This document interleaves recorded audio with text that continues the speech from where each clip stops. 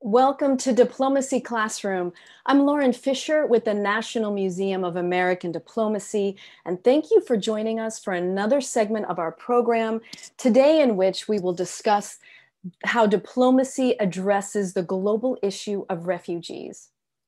The mission of our museum is to share stories of American diplomacy and the work of diplomats through our programs and exhibits. And our intention is to create a conversation with you about what is diplomacy and why it's important. So let's first talk about what is diplomacy. At the museum, we think of diplomacy as the art and practice of building relationships with countries and global partners.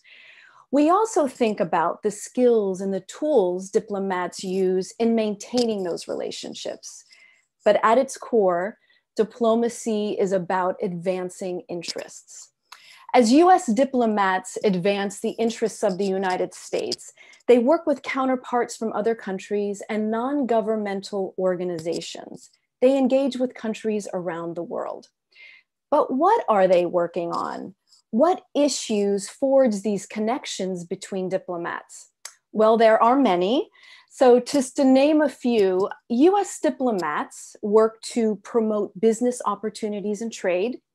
They advance US interests in science, health, technology, oceans, and they work with their military counterparts on arms control and security.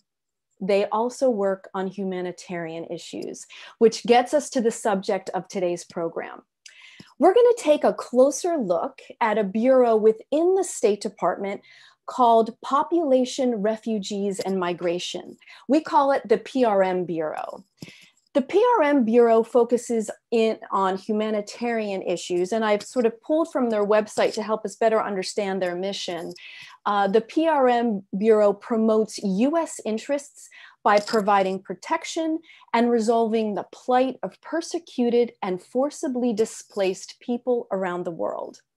I am delighted that today we have joining us two diplomats from the PRM Bureau, Stacy Gilbert, who is a senior civil military advisor, and Anjalina Sen, who is a foreign service officer and a refugee coordinator, to help us better understand what the challenges are facing refugees, how the State Department works on these issues, and why it's important. And in actually more importantly also for Stacy and for Anjalina to help us understand how this, the refugee uh, challenge is an issue, how this connects to national interests and security.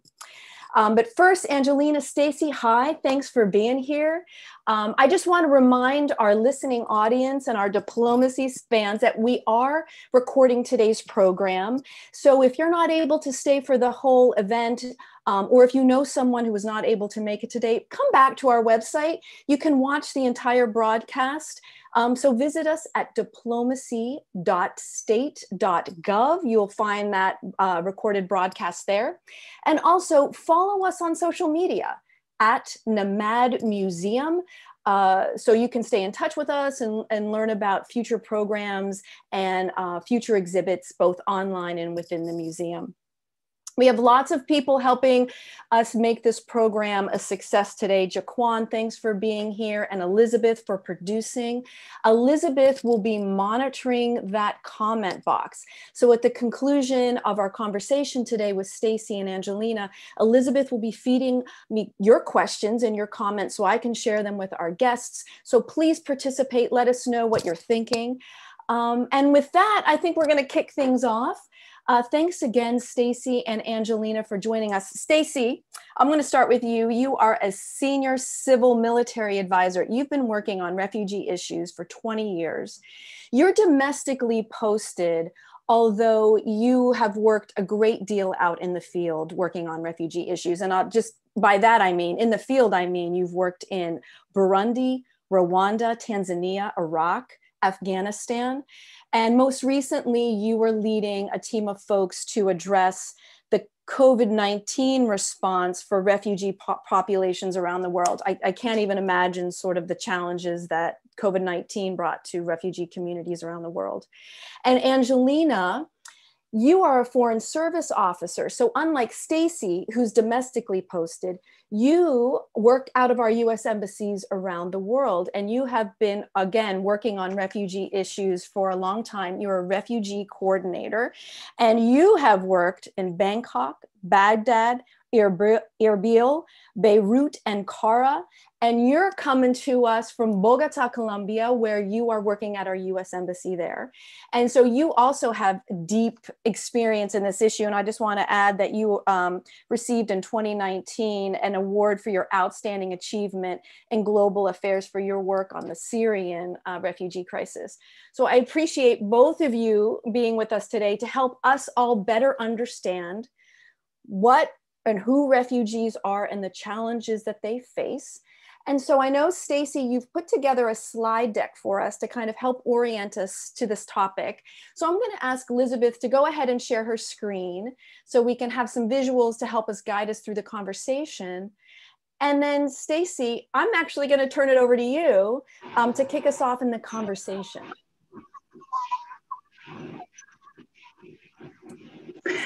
Thank you, Lauren, and others at the Diplomacy Museum. Um, it's great to have this opportunity to talk, talk about refugees, especially in the run up to World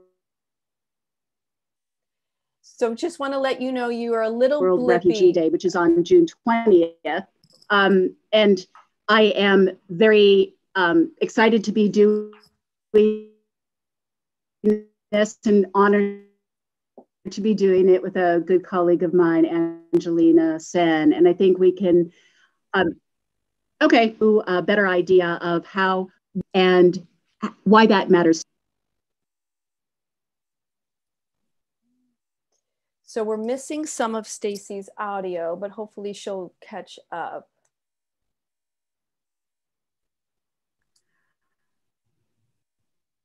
So, one of the things I wanted to talk about is that refugees are, and refugee situations are different than what you might imagine. This is a case of a refugee camp in Syria.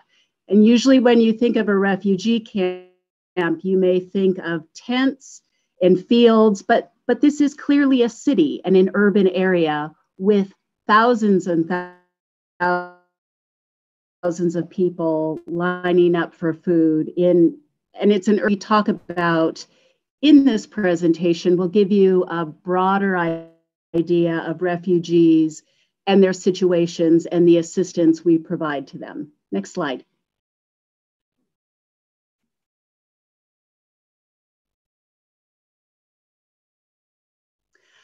So when you think of a refugee you can think of maybe a, a village or a town and two families living next to each other. Maybe it's a place where there's been some, some political tension, and one day there's gunfire in the distance. And the two families decide we have to leave. This is enough. We can't take it anymore.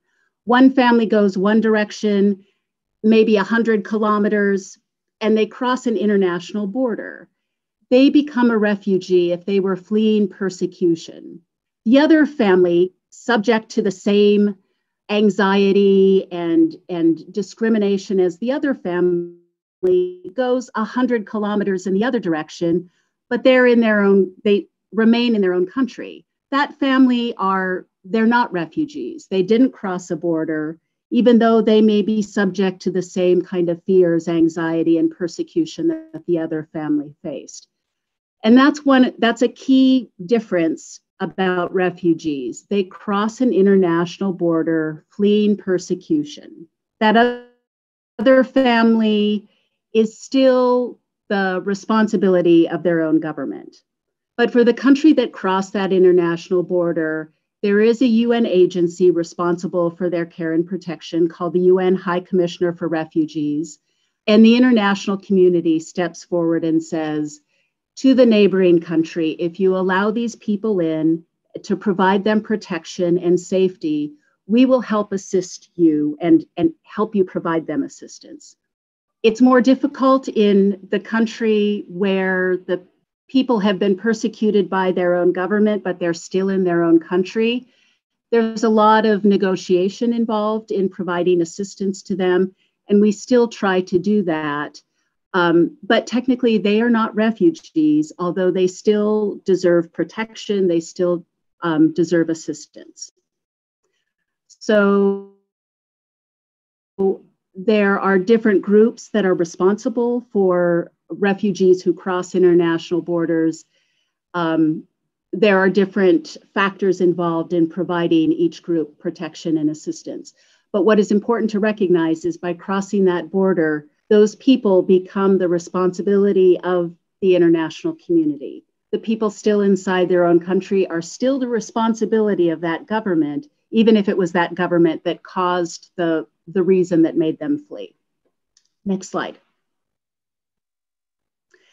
So when you're a refugee, there's three ways to resolve that situation. Ideally, the situation changes in your home country and you're able to go back in safety and in dignity. If the situation doesn't change, hopefully the country that you fled to will allow you to stay in that country and provide you assistance and let you have some of the same basic rights and responsibilities of people in that country. That the children who are born get a birth certificate, children are able to go to school, some very, very basic things. To a small percentage of people in, around the world, if you can't go home and if you can't stay where you are, there is the possibility of being resettled in a third country, for example, the United States. And that's been in the news recently in terms of the number of refugees um, the United States will be accepting this year.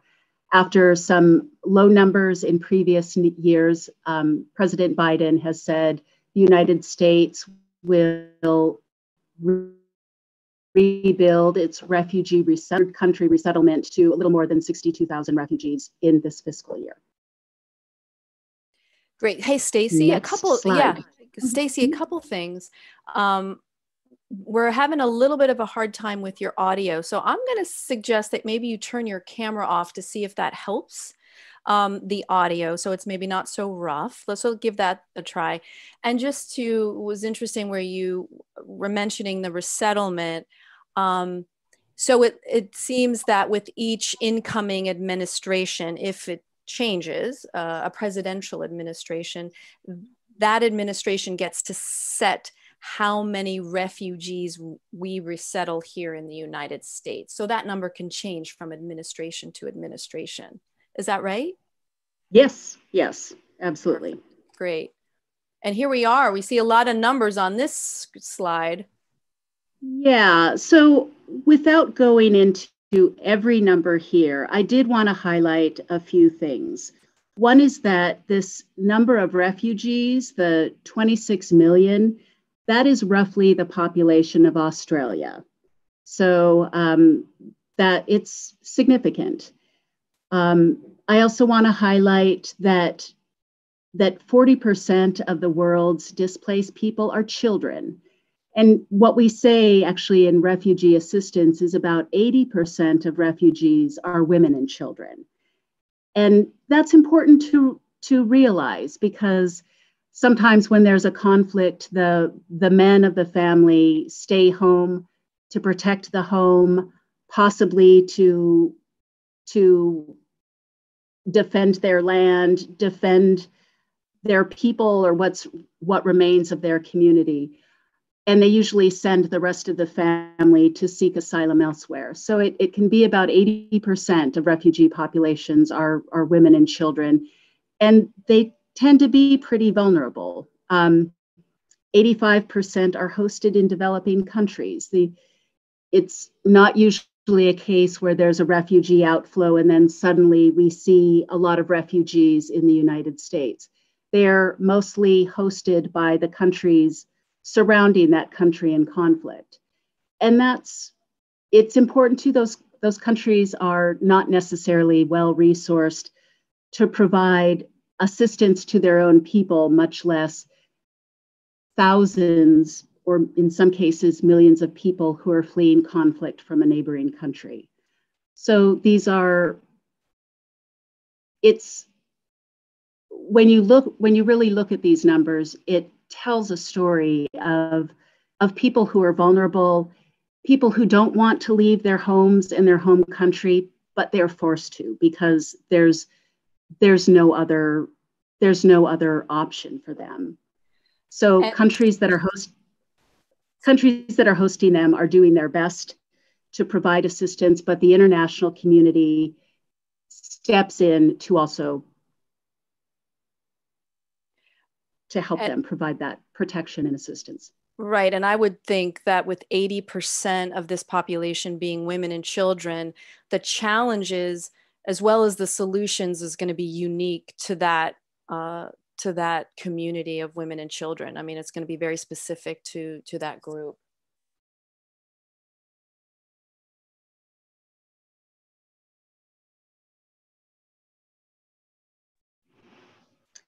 Can you hear me now? I can hear you now. Yep. Are we going to move to the okay. next slide? Yeah. Yeah, next slide. Great. So to provide that assistance, we have um, PRM works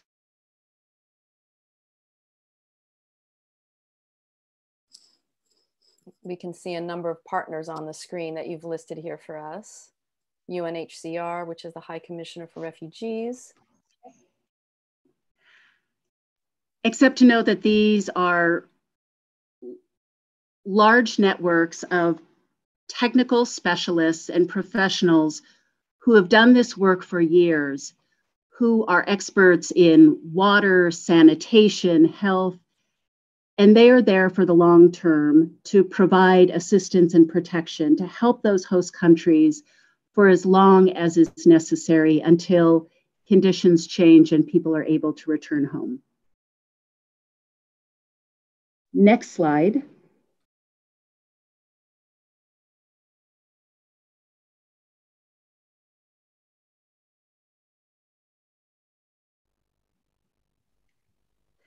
These are also some great resources we have around the world. These are our refugee coordinators who are really our eyes and ears on the ground to see what the protection and assistance needs are, to see where we can help out both with the tangible items for assistance as well as more importantly really the diplomatic resources that that we can bring to bear to help resolve the conflicts that forced people to flee in the first place.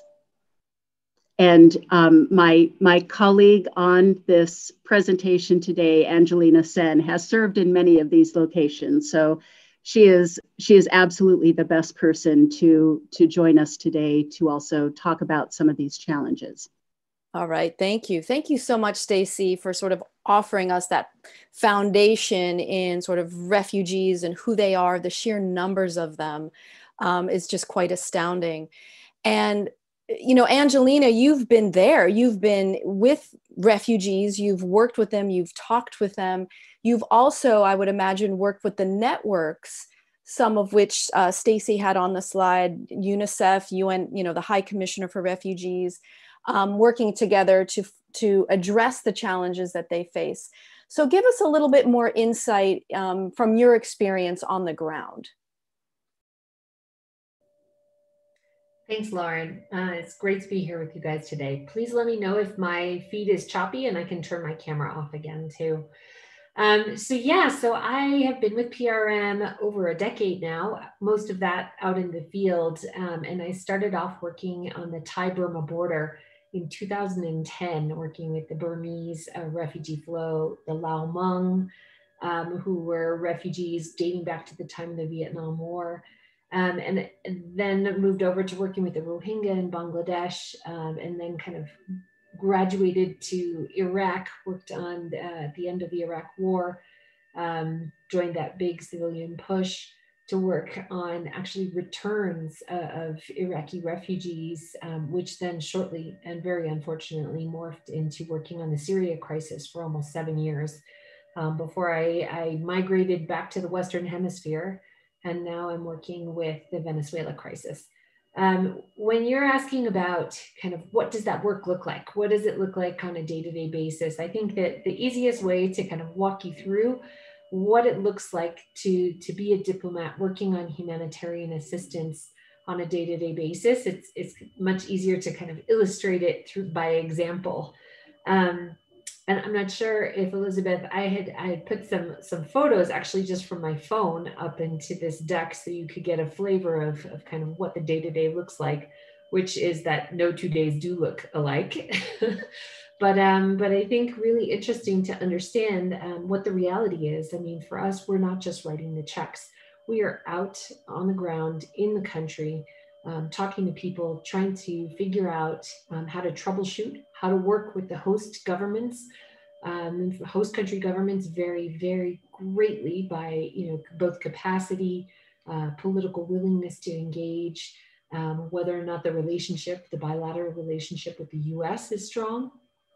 And so I think very individual and, and requires a very tailored set of skills to, to manage. Um, but I could talk about kind of what it looks like here in, in Colombia. I mean, Colombia, to give you a little bit of perspective, Colombia is hosting almost 2 million Venezuelan refugees out of around 5.6 million who are spread mostly over around 17 different countries in the region. Um, this has been the largest humanitarian crisis in the hemisphere and the largest movement of people uh, ever on in the history of the Western Hemisphere. Um, and, and the vast majority, I think one of the things that's quite unique to what's happening here is that the vast majority of Venezuelans who've been forced to get up and leave Venezuela, it has been that they have come out by foot. They walk.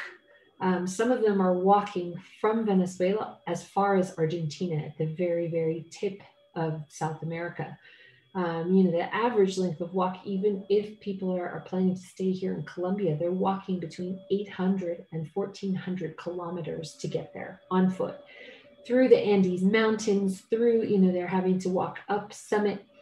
Um, so, I mean, in that respect, I mean, to kind of give you an illustration of what we're doing, we call that the Ruta de Caminantes, the route of the walkers. Now, when you take into account who's walking and, and what shape they're in, that's where you can start to see the practical application of what we're doing on the ground. Um, you know, when we're looking at how people are moving, we're looking at okay, what do, how are we meeting their life-saving emergency needs? People are coming out from a hot climate; they're moving into the mountains. Um, we're looking at first of all, it's almost like Maslow's hierarchy of needs. We're looking at how do we give people life-saving assistance? What food do they need? Do they need blankets? Do they need warm clothing? Are the children walking in Crocs? This is something that we see all the time. You see children who are dehydrated, you're seeing children who have exposure. You know, their feet are in terrible shape from trying to walk with their parents. So, how do we address those needs? We're working with NGOs, we're working with international organizations like the UN Refugee Agency, the International Organization for Migration, um, and really working through them on the ground um, and playing this coordinating role with the host country government and kind of within this larger architecture that we call humanitarian architecture um, to try and identify and meet people's emergency needs in healthcare, emergency education, food, water, shelter. And that's really kind of the starting point of what we do. Um, once we're able to meet those emergency needs, which usually is quite a challenge, we're also very interested in trying to work with them on what's the next step. What happens when they get to a place where they, they have been stabilized? What happens when they're living in a long term situation as a refugee outside their country, possibly with no rights? I mean, when you think about what it is to be a refugee, what it is to be outside of your home without status, and how long that lasts, you know, it's probably a little bit surprising, but the average length of displacement nowadays is 17 years. So that's going on two generations of people who may not have the rights to be in the places where they're being born and, and where they grow up. Um, so I think for us, a big focus of what we've been working on is also that next step. It's how do we move from the life saving to helping people to build back their resilience, to you know not just to be stable, but to be able to thrive and take back their agency um, as people and participate fully uh, in the in the societies that they're living. Wow, you know, I never really thought about it that way. You're you are addressing their needs in their moving when they're when they're leaving their home country and crossing that border. So they're in movement and I can imagine the logistical challenges of that.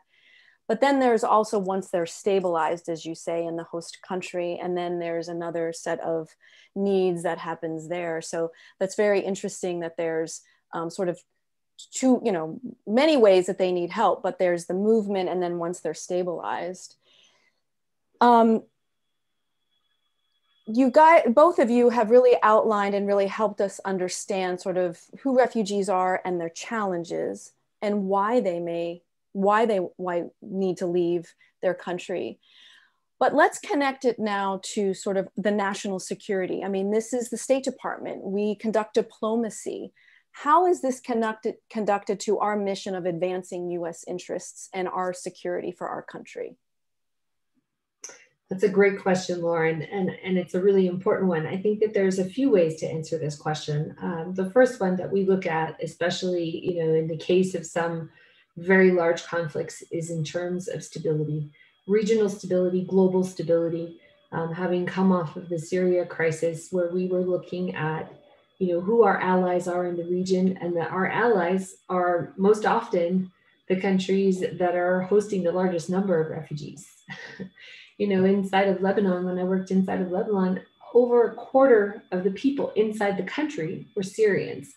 Uh, and you're already talking about a country that is under an incredible amount of stress uh, economically, politically, you know, really on the knife's edge already. And then having an additional large population of people who have intense humanitarian needs to come in. You know, we're looking at helping to maintain the stability of our allies. Um, you look at other countries where we, we have Thailand. Thailand has been hosting Burmese for well over three decades. Thailand is a treaty ally of the United States. For us, it's a critical relationship, uh, and it's one that we value very much. Inside of the context of Colombia, Colombia is our strongest regional ally in South America. For us, it is a fundamental foreign policy goal to help them with this very generous hosting of almost 2 million people. You know, Colombia has gone forward with temporary protection for 10 years for all of the Venezuelans inside of the country which is a tremendous offer, but you can only imagine what that means for them resource wise in terms of granting full access to their education system, their healthcare system, and others. So for us, you know, this is a this is a critical uh, foreign policy goal and a critical piece of helping regional stability stay in place. But there's a second reason as well, and, and I think it's one that is very true to my heart in having found this work, and that is it's also about our values, our values as a country, um, and what the US is really about, um, and making sure that we are not just at home complying with those values, but we're also representing those on an international level. You know, we are a signatory to the Refugee Convention. We are, you know, a very strong proponent of humanitarian values and principles worldwide. So that's, uh, I think, the second cornerstone of why we do what we do um, because of the unique nature of who we are as the people of the United States.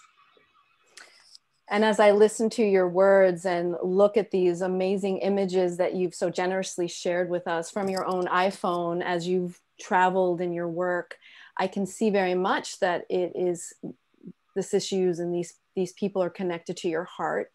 Um, and so I kind of now want to shift a question before we move to our audience questions to both you and Stacy you have dedicated your careers to working with refugees.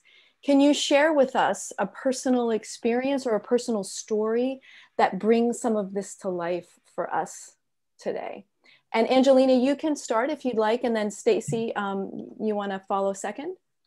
Yeah, and in fact, maybe Elizabeth, if we can go to the last photo, um, I I have a lot of I think very personal stories and stories of, of folks who I have I have followed um, through my career. And this photo actually um, is one that was very dear to my heart.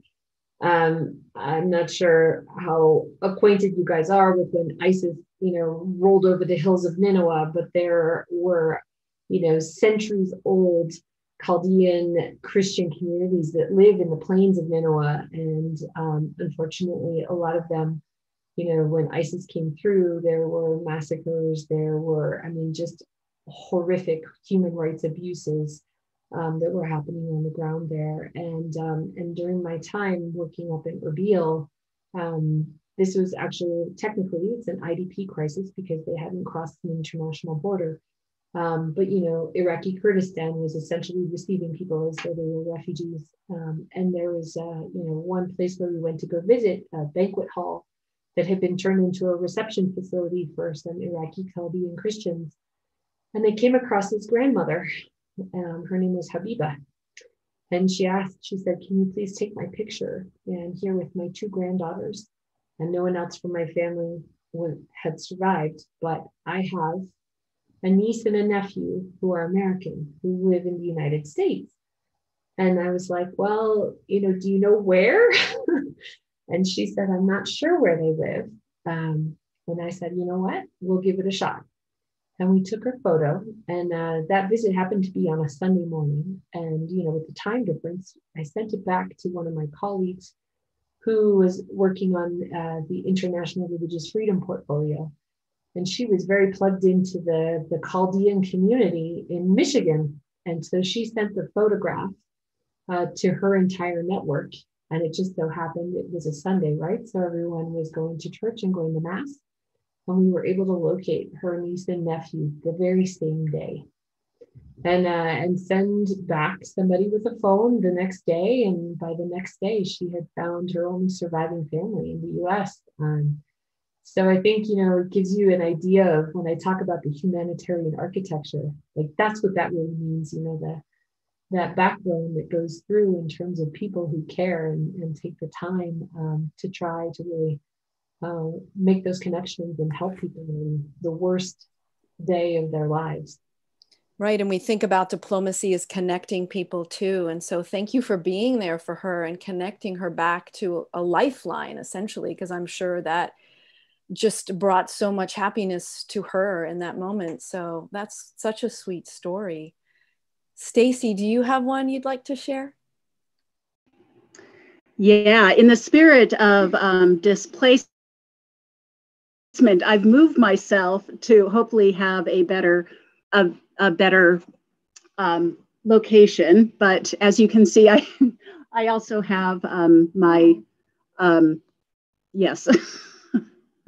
um, but I You're wanted to show there. a um, yes. Um, I wanted to show something that has affected me when I was when I was out doing monitoring, and this is this is um, hopefully you can see it.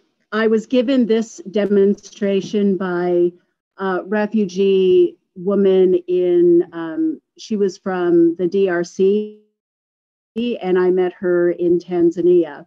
She was the refugee food ration had been cut, had been cut a little bit over a course of months.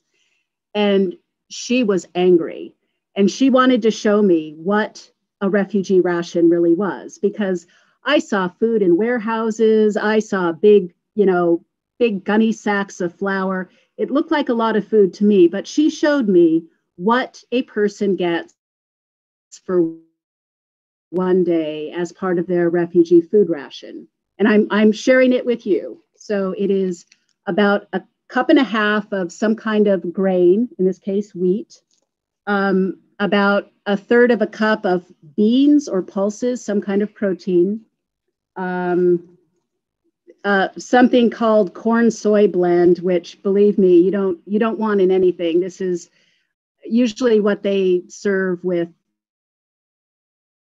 water to make some kind of gruel for children, but probably a third of a cup um, a little bit of sugar. This is probably a tablespoonful of sugar and probably a half of a teaspoon of salt and a tiny little bit of oil, probably a tablespoonful of oil.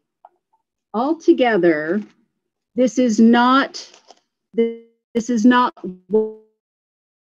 one meal. this is this is what you get for a day.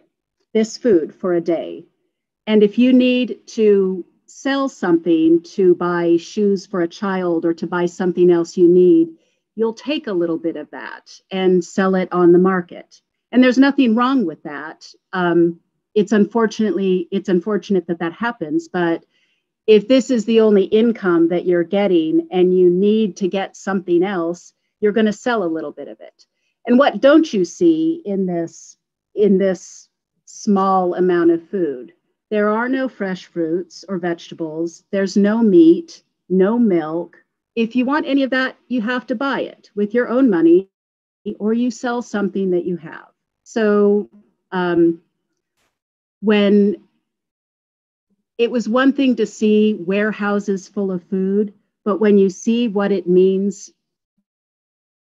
what a refugee has to live on each day, it's so very little.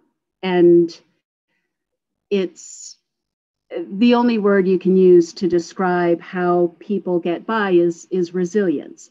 This does keep them alive, but it's if you had the idea that refugees get a lot that they are living off the international community, just think about that assistance. It's not much.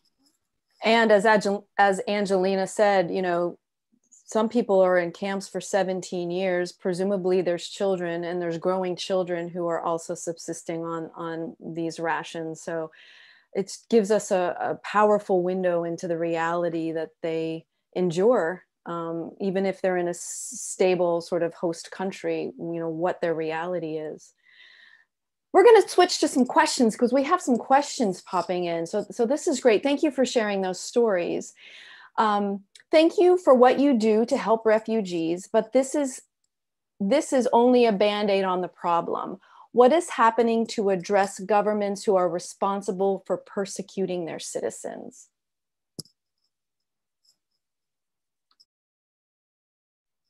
Either one of you. Go ahead, Anjalina. I'm happy to start off. I mean, you're absolutely right. Humanitarian assistance, we can put as much humanitarian assistance into a crisis as, as we could find dollars. And it does not address the root causes of conflict um, and, you know, political persecution that has to take place at the negotiating table, which is not just with the United States. You know, the US, we are firmly multilateral. We work through the United Nations, we work through joint mechanisms, we work through NATO, um, looking for long term political negotiated solutions to these crises. Now, the question you can ask from that obviously is how effective is that? And it really varies by situation. Um, there have been places where ultimately there has been the ability for, for people to return voluntarily. And unfortunately, in other places, the crisis continues to deepen. Um, you know, we're just at the, the beginning of a new administration in the US. The Biden administration is reinvigorating their engagement on a number of different crises across the world. And I think we're going to see you know new policies that start to unfold that are you know addressing those root causes of conflict um, looking at how negotiated political solution might be able to to move the the, the needle. Um, but humanitarian assistance is i mean as you say you could liken it to a band-aid. I mean it's a it's very much an inadequate uh, you're not going to get a solution out of humanitarian assistance. But does that mean that we shouldn't do it? Absolutely not. I mean, we really need to be in there providing life saving assistance. I mean, our mandate as an organization is, you know, to to we are mandated to provide protection and emergency life saving assistance to the best of our abilities, and that's what we do. Right, and so you know, diplomacy is at work addressing this issues in the highest level of of government. Um, Stacy, is there anything you would like to add to that?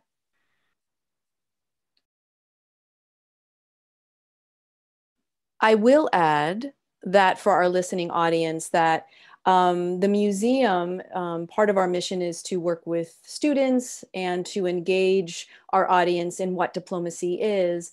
And we have a diplomacy simulation program that invites participants to play that role of a diplomat. And we have a sim simulation that it looks at a ref, it's a hypothetical refugee crisis. We developed it alongside of the PRM Bureau. So it mimics a real crisis, but um, it invites students to play that role of a government and um, there's there's governments and, and non-governmental partners at the table sort of negotiating a solution to a hypothetical crisis so for our audience watching today i'm going to ask um, elizabeth if she wants to drop a link into the chat, um, connecting listeners to our website where you can find that program. Because if you're interested in exploring this issue and how diplomacy is at work um, in the refugee issue, you can go ahead and explore those materials. Um, so I'm going to keep moving because we definitely have some um, questions popping in here. Uh, what is the difference between those seeking asylum and those who are refugees? We get we get this question a lot um, with our education programs. Stacy, do you want to take that? Yeah, sure. Hopefully my my connection will last. So an asylum seeker is someone who is broadly who is has a claim or says they have a claim to to asylum, which means they are fleeing persecution and they are seeking protection in another country. So while that claim is being adjudicated until it's it's actually determined that that person is is in fact you know from a community that is being persecuted they they would be considered an asylum seeker. Um, once when that claim is adjudicated they would be considered a refugee. That's more applicable on an individual basis. Clearly when there's a um, uh, you know an, an outburst of violence and there's a surge of, of, you know thousands of people coming across the border it is generally considered that they are all refugees until you know individual claims and like an individual claim is made for each person. So um, but in the united states we there are people trying to come to the United States or already in the United States, and maybe something happens back home, and they say, Oh, I, I can't go back there or I will be persecuted. So, what, when they are in the United States, they make a claim saying, you know, this is who I am, I can't go back, or I will be tortured or killed. Um, so when they make that claim in the United States, they are considered an asylum seeker when they when they they're already in in our country when they when something changes back home and they say I need protection. Understood. Great. And it's it's a little bit different between kind of how it's used um, just colloquially and and the legal version. Great. Hollywood. yeah, right. Well, that's a lot of favors because I think some people have some misconceptions about what seeking asylum is. Um, and just to add on to what Stacy was saying, I mean, to seek asylum, you must be in a country of asylum. Um, so, you know, you're in your country of first asylum. So you wouldn't seek asylum from the US unless you were in the US. Um, and then not every country has a national asylum system. So you might actually go to a country where there's you're not able able to avail yourself of even asking for asylum because they don't have a system to to actually accommodate that. So and and again, I think the other thing to keep in mind that it's I think the most important thing to take away from from that question is is that regardless of what system each individual country might have, there's conventional international humanitarian law, which is kind of supersedes all of it so that you know when people are having to run from conflict whether or not the, the country that's receiving them has an, a system we would still look at what international law says about that and that's what is generally regarded so you know if you had to flee your country um, to you know stay alive, then you once you cross that border, you are a refugee. Wow, great. Thank you. I mean, yeah, you bring our attention to there is international law, but then each country has their own systems of government and their own, you know, uh, system of what it means to seek asylum or not in that country. Thank you. Another question Does the State Department help to resettle refugees in the US? As well as working with refugees abroad, which clearly uh, both of you do. But do we help to settle those refugees who are named to come to the United States? Do we help them resettle here? Yes, we absolutely do. Um, you know, the I think the largest, the lion's share of our work is definitely international assistance. Um, so assisting folks overseas, but the PRM and the State Department uh, oversees a critical piece of the U.S. refugee admissions program. Um, and in fact, I've actually worked on the US Refugee Assistance Program in a number of different countries uh, where we are working with the UN Refugee Agency to accept uh, refugee applications to, to join the US program and be processed onwards. Ultimately, um, the adjudication piece is done by the Department of Homeland Security, but the State Department um, kind of runs the flow, the, the, the pipeline of the project. Um, and then, Stacy, I, I, don't know if you want to comment uh, on the piece inside the US because PRM also plays a role in that.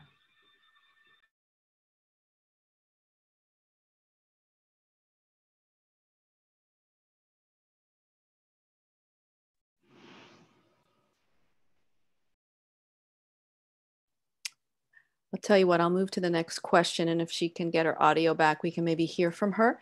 Um, Another question In times of conflict, how do you promote stability within camps as a refugee coordinator? So, I might not answer your question because I personally um, am a big supporter of a lot of the, the new um, policies around alternatives to camps um, you know, a camp-based situation is actually, I think, the worst situation. Um, obviously, in some locations, it's the only the only one that's available. Um, but generally speaking, the the PRM approach and the U.S. approach is to support the UN Refugee Agency's alternatives to camp. Um, being kind of put into a camp, it, it, it can oftentimes end up in, in basically the collective warehousing of an entire community um, where people are just kind of getting put somewhere and kept there for long periods of time. So we're always looking for alternatives to that. Now, what happens in times of instability? I mean, camp being in a camp-based situation during a period of crisis or instability um, is oftentimes, I mean, they bear the brunt of it. Uh, I'll give the example of, you know, when I was working in central Iraq in Baghdad in 2012, 2013, you know, it was really at the beginning of when ISIS was starting to come up, but we were seeing a lot of sectarian conflict um, in the western part of the country in a place called Al Qaim. There was a refugee camp there that had Syrians in it. And in fact, they really took the brunt of, um, you know, the deprivation of when there was a lot of, um, there was, you know, basically internecine conflicts and warfare happening in that part of the country and they they locked the gates of the camp and they weren't bringing in any more. You know we're talking about people who were going without food water you know basic medical care. Children were not being vaccinated. There was no max there was basically no medicine available. Um, so you can imagine um, what it was like to be inside that camp during that period of time very hopeless. Um, and i think you know worst case scenario that we we really look to find alternatives to that's very interesting to you know we've got constantly have to be thinking about refugee issues and the best way to deal with them. And so it's very interesting to think yeah shifting models um, and to best support those who need it. Um, you know the museum i just want to add the museum is, is very pleased and proud to be a part of the commemoration for world refugee day to talk about these issues and to highlight them we do have on our website, and I'm going to ask Elizabeth to drop a link um, into the chat.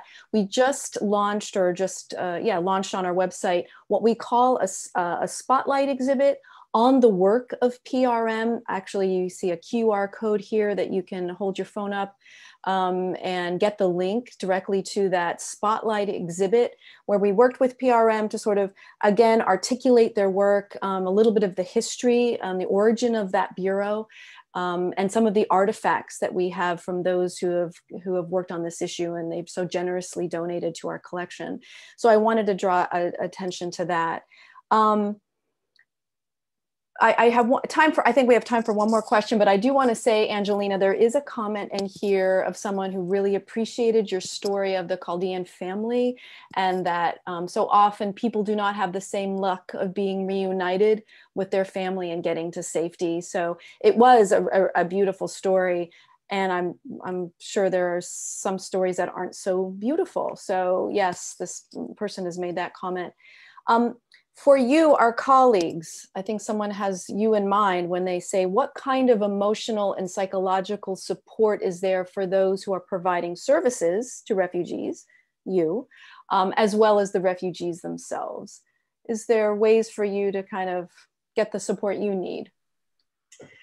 So you know, I think we we had already started to go down that that line with looking at what what kind of a toll does it take on you doing this type of work after after some period? And you know working on the donor side you know we're in a very privileged position in that we work in the field but it's you know we're not providing the day-to-day services so the stress on us individually is not as much as it is on the humanitarian aid workers you know and humanitarian aid workers are frontline. Oftentimes they get they're actually getting caught up in the conflict at different times of their careers and and you know they themselves are are going through significant amount of trauma.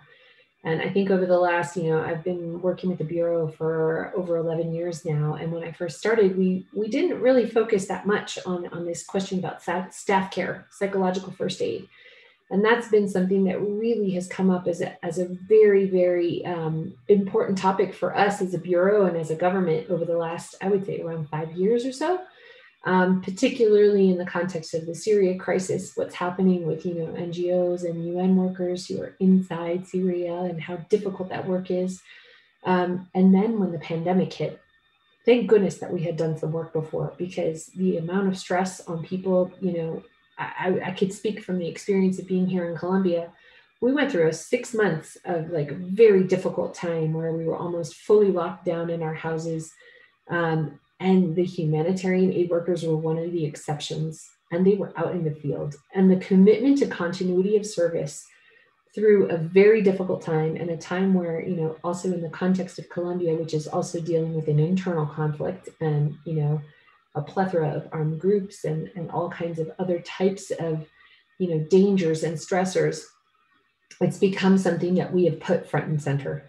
Um, you know the, the the saying of put your oxygen mask on first we have to be really careful about that and make sure that you know our partners and their staff are being taken care of um, you know and, and that we're not burning through people and we're not you know, creating more trauma. So, you know, that's another one of the, the big principles in humanitarian work is called do no harm. So I think, you know, now it's it's something that we automatically look for inside of our programs. We want to know how are you going to look after your staff? How are you going to take care of them? What's the plan? Uh, you know, are you guys helping to do, you know, resilience building? I mean, that's a big term, but it, it means something very specific. You know, it's like what are your leave policies? How are people supposed to look after their kids if they have to be isolated after they go out on a field mission? Um, you know, how often are you offering people counseling, um, downtime? All of those things are very, very important. Um, and I think, you know, in the time that I've been with the Bureau, I've seen a, a big evolution on, on our approach to this and how we prioritize it and we make sure that there's money and budgets for it. Thank you. Stacy, do you want to add to that? I, I just wanted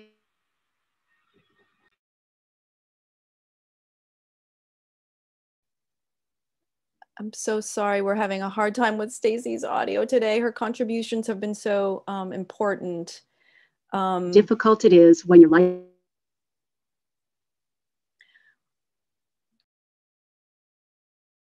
we're getting the gist, gist that this work is difficult. And I think with that, I'm going to um, say thank you so much to Anjalina and to Stacy on behalf of the museum. Thank you for your service to your country, for um, your hard work that you're doing with these refugee communities, and for carrying forth the values, as you so eloquently said, Anjalina, of the State Department and, and, and working so diligently and beautifully on these humanitarian issues. So thank you so much for spending your time with us today. And for all of those uh, listening, this uh, program has been recorded. There's been so much that has been shared. Please revisit our website to learn, to continue to learn and explore about refugee issues and how the State Department engages in them. Thank you for joining us. Remember to follow us on our social media at NMAD Museum, and we look forward to seeing you at our next program. Thank you all so much. Bye.